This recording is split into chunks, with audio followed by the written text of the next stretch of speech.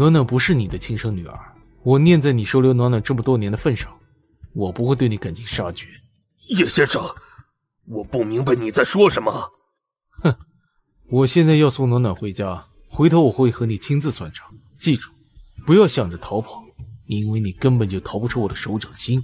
叶明觉讽刺的笑了一声，随即就转身朝自己的车走去。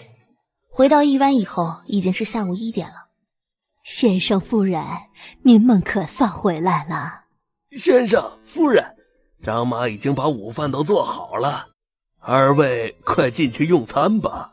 嗯，这里有一些我需要的东西，把它们都放进我书房，等一下我过去会用到。是。叶明觉则是揽着安小暖走进客厅，一顿饭吃的很安静。今天安小暖的饭量好像少了不少。怎么，吃饱了吗？嗯，吃饱了。你想要做什么？我会陪你做的。不用了，你先去忙吧。我现在想休息一下。好。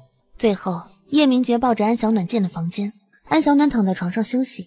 叶明觉直到安小暖睡熟了以后，才轻手轻脚的离开房间，转身去了旁边的书房。爷，您让我处理的事情已经处理好了。哼，何雅慧那个女人一直欺负暖暖，既然她那么宠爱她的女儿，那就让她去陪她的女儿吧。是，那林胜怎么办？先找人看住他，我还有要事要找他问清楚。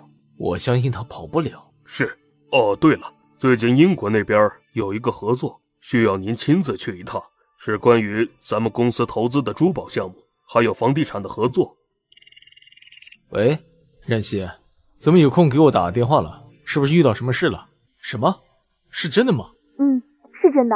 既然是这样的，我就恭喜你了，以后照顾好自己。这样吧，我还有点事情处理。好，拜拜。嗯啊。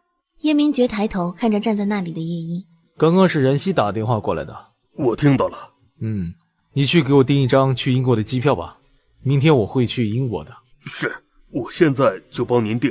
对了，要订三张的，我暖暖和你一起去。